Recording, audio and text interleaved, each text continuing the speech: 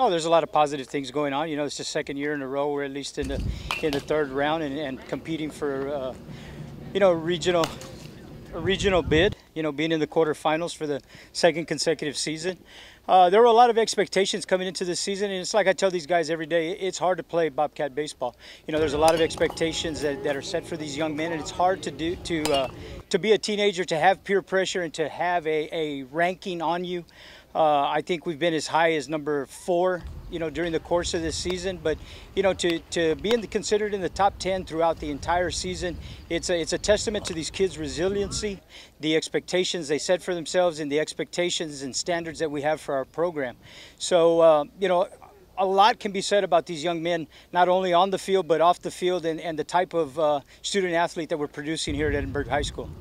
Now uh again you kept telling your kids from the beginning of the year we talked before the season that this is not last year's team. As, as a coach, what have been the challenges trying to replace guys like Jaime uh, Alvarado and guys like Mackey behind the plate? What kind of challenges has that been for you trying to, you know, plug in guys in different positions? The main thing has just been developing consistency, replacing the chemistry. You know, you alluded to to Jaime Alvarado and Mackey and Luis Ortega. You know, those guys combined, they probably had 700 innings between them. And you, you can resort right back to consistency. You know, they, they brought that veteran leadership. Uh, and they were our, they were the bulk of our experience. So it was just being patient with these guys, finding the right combination, developing the chemistry amongst themselves.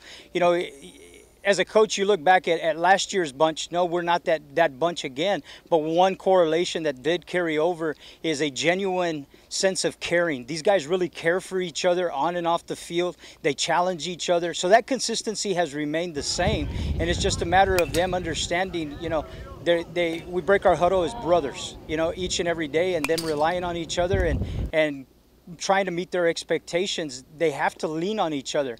And that was the biggest thing that we had to get set and, and carry forward each and every night we went out to battle. And, and, you know, if you can look throughout the course of our season, it hasn't been one guy. A lot of people may think, well, it was all on John Gonzalez's shoulder. It really wasn't. You know, we've had performances by a freshman in Ramsey Amador. Jaime Cancino's come in and pulled his weight. Solis has again come up with big hits. So is Josh Aguirre. You know, and, and those were those lettermen coming back from last year that have replaced Mackey, the Jaimes, the Luises, and they've they've brought that stability to us, and they're a main reason why we're at where we're at. Last question, Coach. You guys now got Laredo Alexander up next.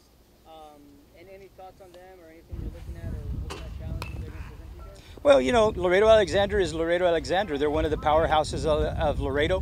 One thing we do know about them, they've been to the state tournament the last two out of three years, is, you know, you could look back at David versus Goliath. We're wanting to get where, where they are, as not only as a program, but as a ball club.